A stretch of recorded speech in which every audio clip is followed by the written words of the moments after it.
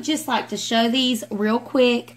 Me and my son painted them. They're the $2 red truck um, wood pieces from Dollar General. My son painted this one. He's nine years old. He did such an amazing job on it.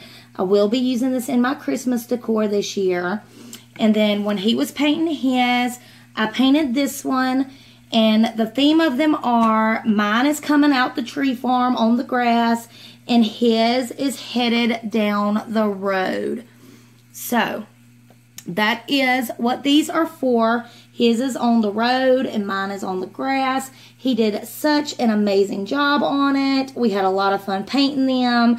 Hit that like button if you think these are just too adorable. Okay, y'all, so we're going to start out this DIY. You'll have to excuse my this mess. I'm having to do it on my coffee table today. And what we're going to be doing is I bought these three dollars. They were three dollars a piece, and I got these from Dollar General. And I think that they are so cute. They are little mason jars, and I love the way that this one looks. I wanted to use it for everyday home decor and not just fall. So this is what it looked like to begin with. With this one, I have already taken off. This one come with a little metal pumpkin, and it also come with the twine bow, like on this one. So I took the twine off and the metal bow, I mean the metal and the twine off, and I just flipped it around, okay? Then I used just some of this sandpaper that I got from the Dollar Tree. You get like 30 pieces or 35 pieces for a buck. It is perfect for distressing things and getting glue off. And I just scratched it to make sure all of the glue was off of it. And I done got it all off. And then what I'm going to do is I found this humongous roll of burlap from Walmart. And it was $3.47. It don't have the price on it, but it's just some burlap. And what I'm going to do is, as you can see, this one is covered with burlap. So I'm going to cover this one once again with some burlap. And it just happens to fit it right pretty much perfect. So I'm really excited about that. And so I'm just going to measure to see how much burlap I'm going to need. And then I'm going to cut it.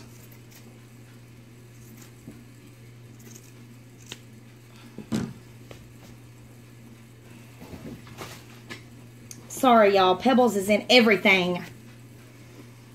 Okay. Then what I'm going to do is what I'm actually thinking about doing is I'm not going to put burlap on the top. I'm going to do all twine on the top. I just think that it looks better like that. So let me cut this extra piece off. And you can Mod Podge this, but I'm going to try to hurry and get it done a little quicker. So I'm actually going to hot glue it. Be sure to be careful when you hot glue burlap because it will come through and my fingers are just so tough from where I craft so much. It does not bother my fingers. They are tough. So just I'm going to start by hot glue in the corner and then I'm going to hot glue this part, the top part. And it does not have to be perfect. That is the amazing thing about farmhouse is, you know, you want it to look distressed and imperfect. That is the look that people are going for with farmhouse. And so I had my lighter around here somewhere. Um, I do like to burn my edges on my burlap. That way it keeps it from fraying. Here it is. So I should have done it before I glued it down, but I completely forgot. So we're just going to go on and do this end real quick. And you must be careful when doing this because it will catch the whole burlap piece on fire. And you do not want that to happen. So, now we're just going to go down and be sure to glue the whole piece of burlap down. And of course, I got to put another glue stick in my gun. So y'all give me just a second. And I'm like I said, I know you could Mod Podge this and it would probably do a little bit better maybe or even but I do know that Mod Podge does make it a little bit darker and that's not the look that I'm going for. Okay, back to our mason jar. You're just going to take some twine and you want to tie it on the back to start it off. So no big deal. Just tie it in a knot.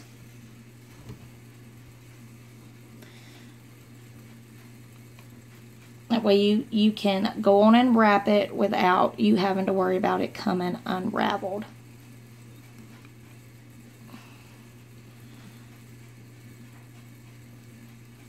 Okay. So now we're going to take it and we're just going to wrap.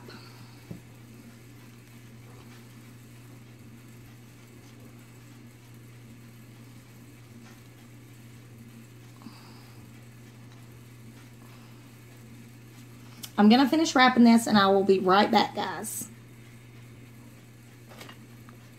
Okay, I do have the majority of it wrapped. When you get to the very top, you're going to want to add a little hot glue.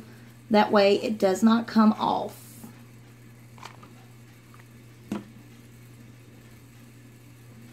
So then you just add your hot glue and you finish wrapping.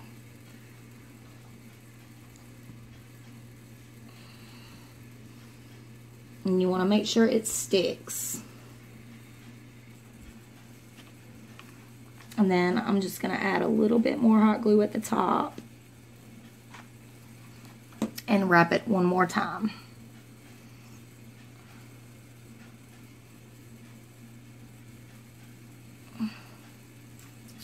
We just want to make sure that it stays in its place.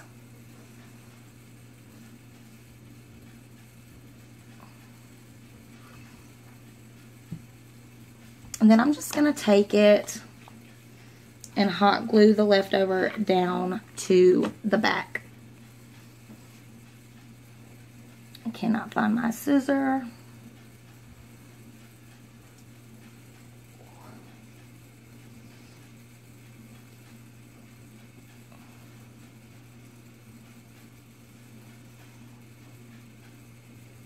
And then you just want to take your scissors, here they are, and snip it off.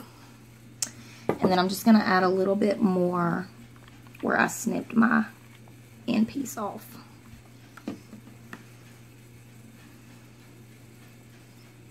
Okay, let that dry for just a minute. I hope y'all can see it a little bit better.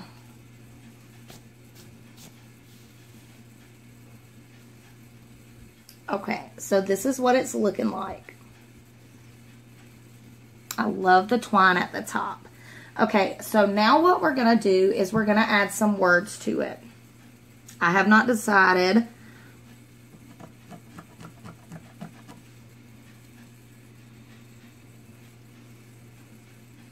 where to put these in my house yet, but I do know I want to put them side by side. So being that this one says be thankful, I'm going to make this one say love always. And I also, since this one has a little metal on it, I have some little metal hearts that I got from Walmart on clearance. They're little metal heart stickers. I'm going to take one of these and put it at the top with the bow. That way they both have a metal piece and they both have a bow. So I'm going to put love always on here. And how I'm going to do that is I'm just going to freehand it with a paintbrush. This does not have to be perfect. Like I said, this is farmhouse country, so in, imperfection is what you're looking for. So I just got some black paint right here and just a regular paintbrush. And I'm just going to put love always on here.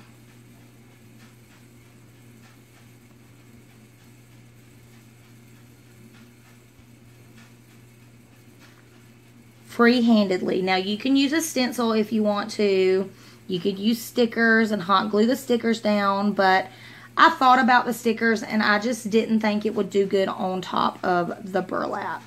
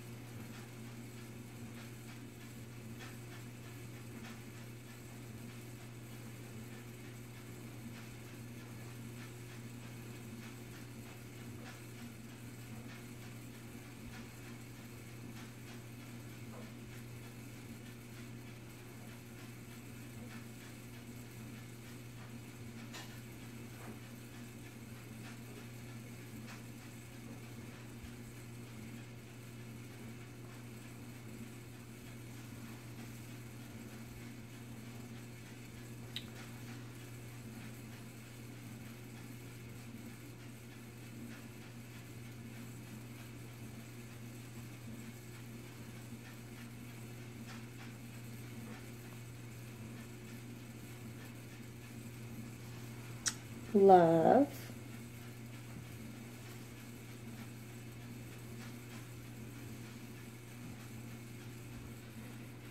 Okay, y'all. I did not like that. So, I have completely changed my mind on what I'm going to do with this. Lovely. Just lovely. Yes. There we go. I'm just going to rip that off. And then I'm going to try to wipe this off.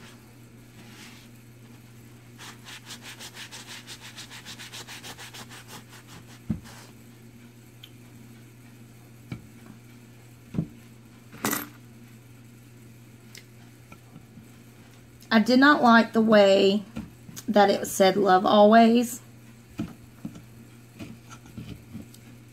So, If you wanted to do it, you can. That's fine. But I had a change of heart.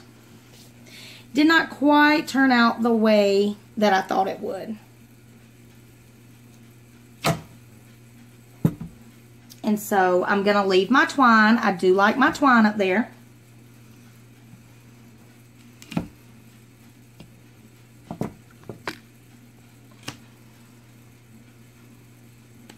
And now what I'm going to do is I'm just going to paint the wood.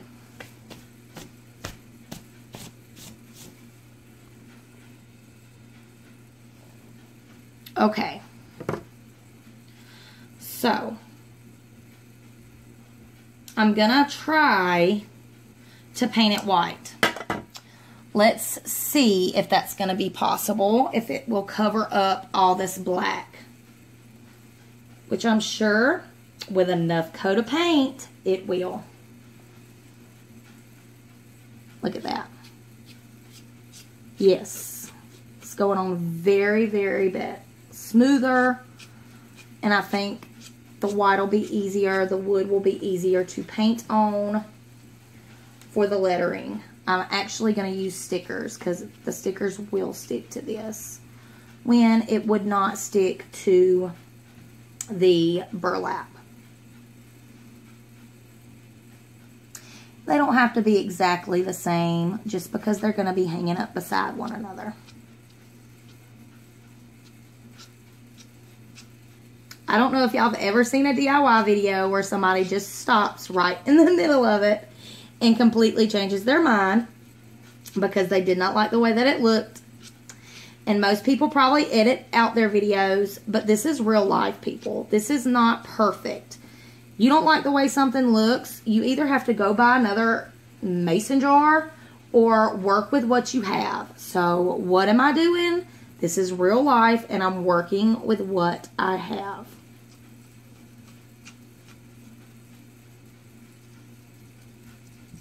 And there's still a little glue left on it, but you know what? That's okay. This is going to be perfectly in perfect. I do want the streaks in it. I do want to be able to see the wood.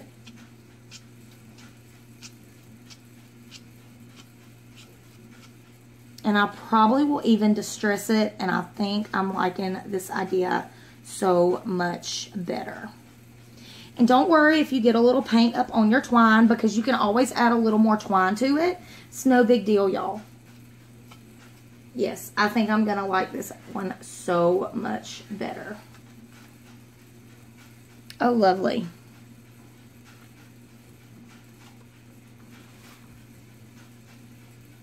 Real life, people. Real life right here.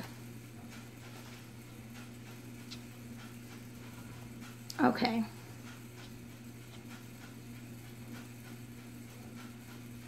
So now we're just going to let this dry. And it covered up that black really, really well. Okay, y'all, so my mason jar has dried. It looks really good compared to what it did yesterday. I did add a little bit of twine up here just to cover up the white paint. So now what I'm going to do is I'm going to take these stickers that I got from the Dollar Tree. They're just regular word stickers. They're white and outlined in black. And I'm going to put Chambers Family on the mason jar with these stickers. And I am going to add a little bit of hot glue to each one that way they do stay on there a little bit better.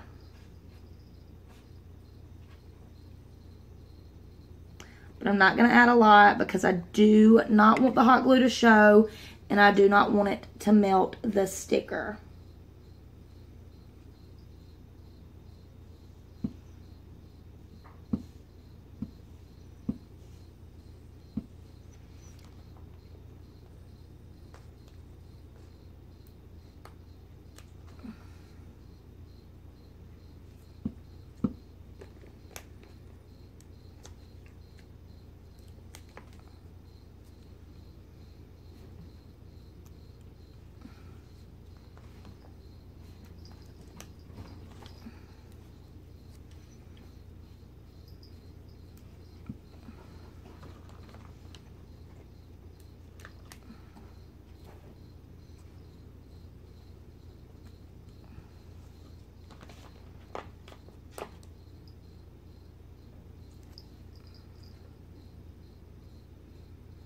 It's actually sticking really good without the hot glue, so I don't think I am going to do the hot glue.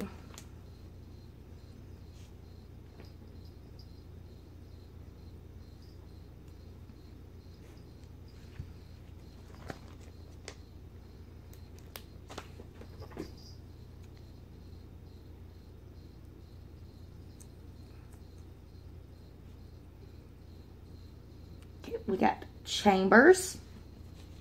And then I'm going to do family. Or a matter of fact, I'm going to do Chambers Farm Home. That's what I'm going to do.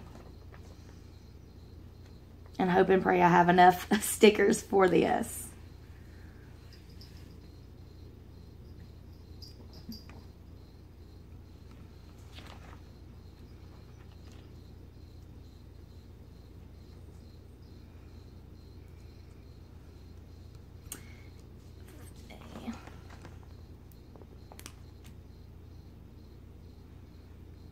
You can paint on this if you would like. You can use vinyl lettering. You can do as you please on this. This is just the way that I decided to go with it. Chambers, farm, and now we're going to do home.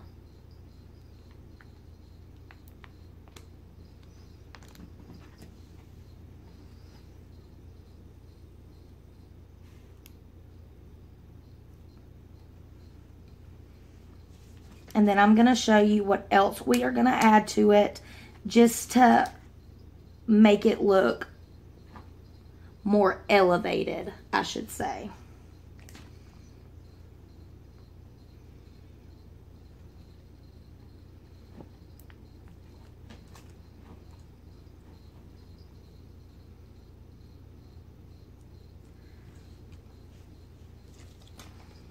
I want home big letters.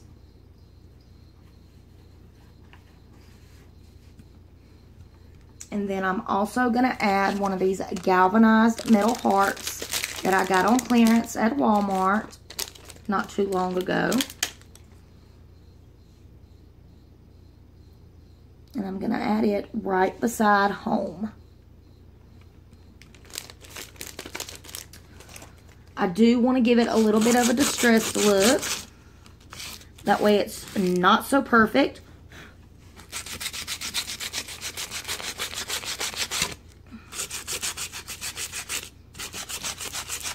So just taking some sandpaper and rubbing it up. Don't want a lot taken off, just enough to tell that it is distressed. Okay, and then last but not least, I'm going to add a burlap bow to it. Because we all know how I love my burlap bows. So it don't need to be big measure the size bow that I want. Then you just take your bow, you flip it, or your burlap, and you hot glue the ends.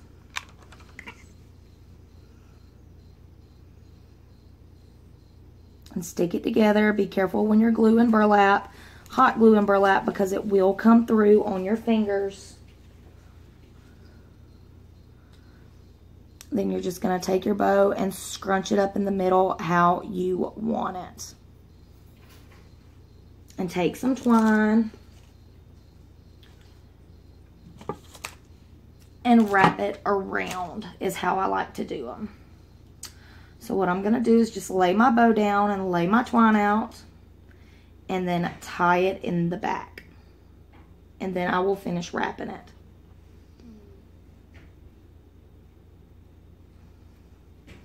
As you can see, it's uneven. So you just move it down until you get it how even you want it.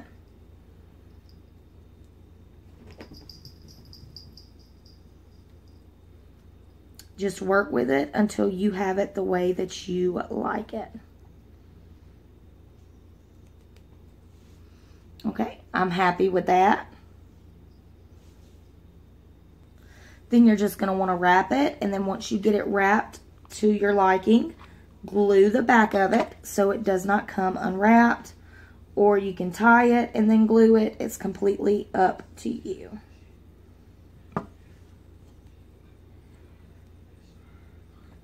I like to glue and tie mine to ensure that it stays. Then I just snip the remainder of my twine and put just a dab more glue so it does not unravel.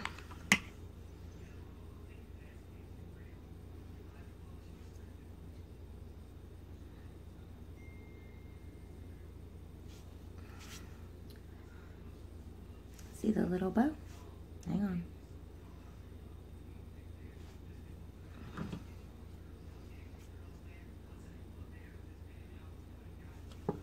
on. There we are. And I'm just going to glue it right at the bottom.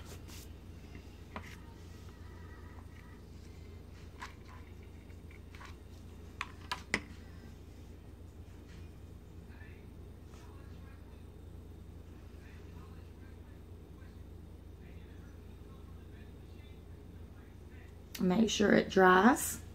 And then voila, Chambers Family Home in a little mason jar. It's so cute, so simple. I hope y'all enjoyed this. Give it a big thumbs up if you did. If you want to see more DIYs like this, let me know in the comments down below. Or if you try to do this or the ornaments, let me know in the comments down below. I hope you all enjoyed it. And I hope you all have a blessed evening. If you are new, welcome. Be sure to hit that subscribe button. We would love to have you become a part of our YouTube family. Bye, y'all.